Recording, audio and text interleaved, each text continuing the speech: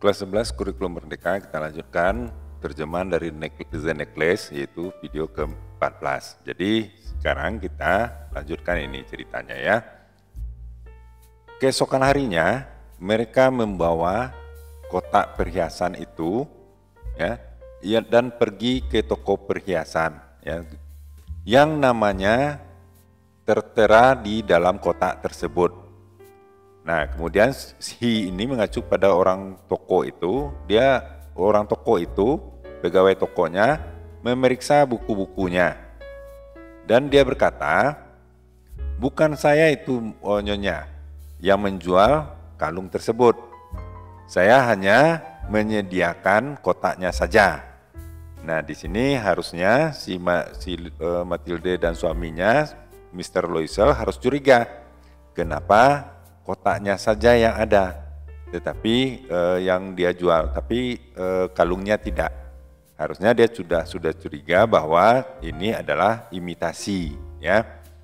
Kemudian mereka pergi dari suatu toko ke satu toko perhiasan ke toko perhiasan lainnya, mencari eh, kalung yang serupa dengan yang hilang tersebut, mencoba mengingat-ingatnya kembali dan keduanya pun menjadi muak karena kecewa dan sedih. Nah, kemudian cari-cari terus, mereka menemukan di sebuah toko di Palais Royal, ya seutas berlian yang menurut mereka persis uh, seperti berliha, berlian yang telah mereka hilangkan dan nilainya adalah seharga 40 ribu francs. Mereka bisa mendapatkannya seharga 36 ya 36 eh, ribu francs. Jadi setelah tawar menawar akhirnya disepakati harganya 36 eh.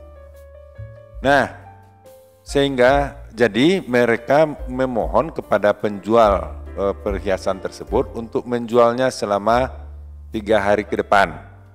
Dan mereka membuat sebuah kesepakatan bahwa mereka harus bisa membelinya kembali seharga eh, 34 ribu 34 ribu francs jika kalau kalau kalau atau jika mereka bisa menemukan eh, kalung yang hilang itu di akhir eh, Februari jadi sebelum akhir Februari, artinya ini di pertengahan Februari kejadiannya ya. Nah kemudian, nah barangkali itu dulu untuk kali ini ya. Bagaimana keputusan yang mereka ambil dan bagaimana mereka bisa mendapatkan uangnya. Nah kita lihat di video berikutnya nanti. Barangkali itu dulu untuk kali ini. Jangan lupa subscribe dan like videonya. Mudah-mudahan bermanfaat. Sampai jumpa.